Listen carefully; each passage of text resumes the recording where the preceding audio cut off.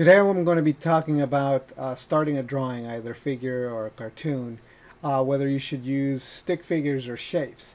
Hi, my name is Luis Escobar. I'm a storyboard artist on the Simpsons television show. I've been working on the show for over 20 years now. Uh, yeah, I've gotten a question from one of my readers, and it goes something like this. I have a question. After I started reading your lessons, I have really gotten into drawing. I am really happy with the progress I have made, though I do get impatient with myself and I had a question. For a while I've been using a layer method where I start with a stick figure kind of deal, then kind of draw over that, adding more detail with each layer.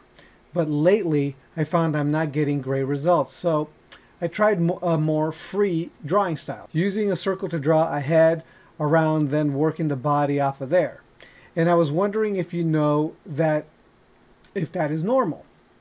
I mean, I still layer details, but I just don't know if stick or skeletal based works for me. Do you think it may be easier to do it that way? Sorry if my question is so long.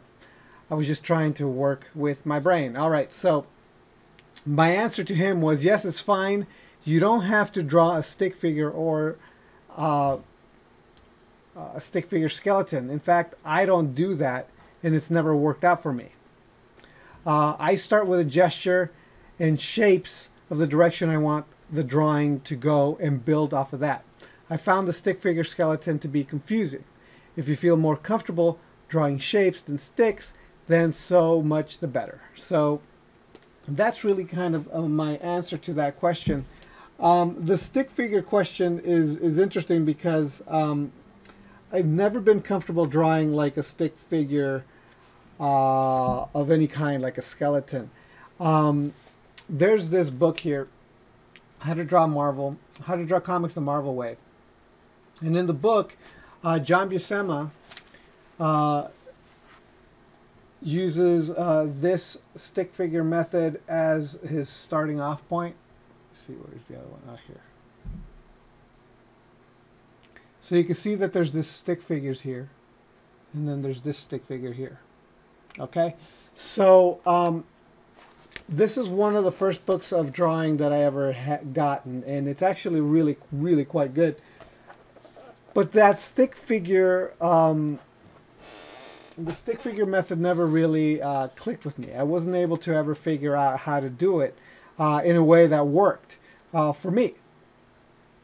So, um, starting here below, you're going to see uh, me working on on a drawing. So I'm going to show you how I tend to approach it. You're going to watch me draw this drawing. And it's very, very high, sped up, I understand. So what I usually tend to do is I tend to uh, work with the shapes uh, uh, just kind of just draw shapes draw um, the general uh, guidelines as to where I may want to go. I kind of work out the, the general uh, gist of the pose. Not sure exactly where I'm going to be going, um, but but but but little by little I I work out the drawing as I go. So if I don't have a clear picture in my head, I mean the ideal the ideal is to have a clear picture in your head uh, such a clear picture that you can practically uh, you're just basically projecting the picture onto the page and you're just tracing over it. Now, it is possible to be able to do that. There are guys that are able to do that. There are artists that are able to do that. But it takes a lot more practice. A lot of practice. A lot of that stuff is, uh, a lot of the construction anatomy, that sort of thing is internalized. Uh, so uh, ideally, what you want to do is you want to practice the exterior stuff on paper itself. So you want to actually do the stuff on the on um, on the paper. Uh, learn to do the construction. Learn to do the gesture. Learn to do all the academic things. And little by little, you take away an element and do it in your head instead. Okay, it's not that you don't do it at all; is that you do it in your head, uh, and that's how you're able to uh, end up with a uh, finished product from the start. But it takes years and years and years of practice of, of like just teaching your brain to think that way and to work that way. and it's still also is um, a lot of all that the fundamentals still is required. You still got to learn all that stuff. You can't just skip it and go straight to the end. So um, just to let you know that all the all that uh, it's just what I'm doing here in the drawing is the preliminary stuff, the the stuff that you do at first. Uh, what I tend to do is I search and I search and I sculpt. I sculpt the drawing as if I'm I, I'm fi I'm finding the the the the structure and the rhythms.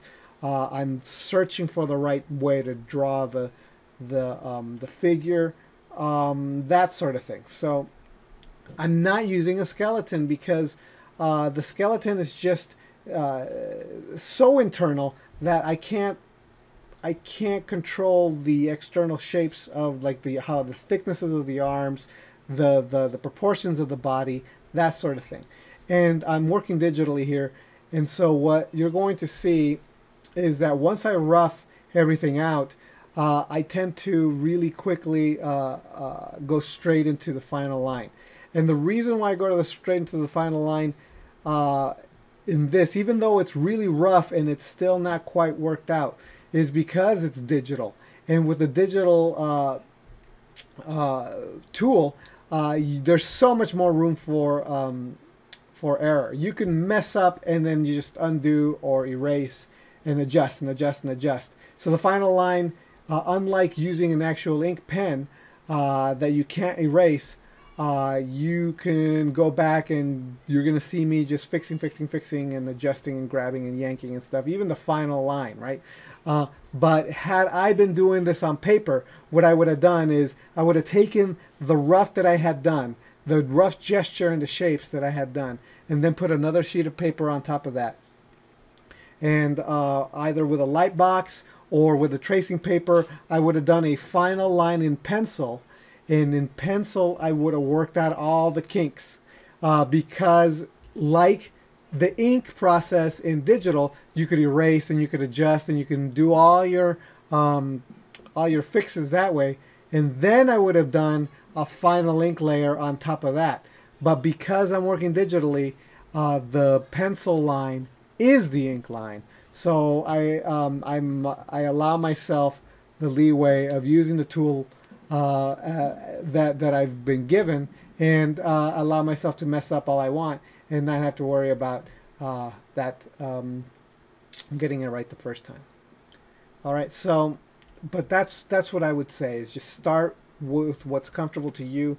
Start with perhaps the the the start with a gesture. Get get the power in there. Get the get the essence of the pose, um, and at the same time you can start building the shapes of what you want to work with and and then afterwards you could do a tight pencil if you're doing analog or go straight into ink like I was do I'm doing if you're working digitally. And um, that's that's that would be my approach and I wouldn't necessarily do any kind of skeleton thing be, um, un, unless that's really comfortable for you to do.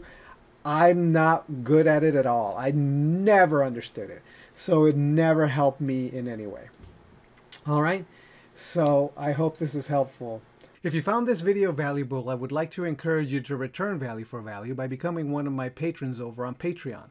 Not only will you encourage me to continue making informative videos that are useful to you, but you get extra perks too. For only a small investment of a dollar a month, you can get all new videos I create months before anyone else gets to see it. Also, if you have any questions you'd like me to answer as a patron, you get priority and I answer your questions first. On top of that, when you're a patron at any level, you become part of a raffle where I send original art via mail to the winner uh, of that month. The higher that your tier, the better your opportunity to win. Higher tier patrons also get access to any art I do in high-res JPEGs and also full access to PSD files to any work I do, including the PSD files of these videos. Currently, there's a huge backlog of downloadable files you can get, so right away you're going to get quite a lot of bang for your buck. And the more patrons I get, the better these videos will get. The more content I can produce, in other words, the more you benefit. Please consider becoming a patron. Thanks. The link to my Patreon is on the screen and in the description of this video. And I will see you next time. All right. Bye.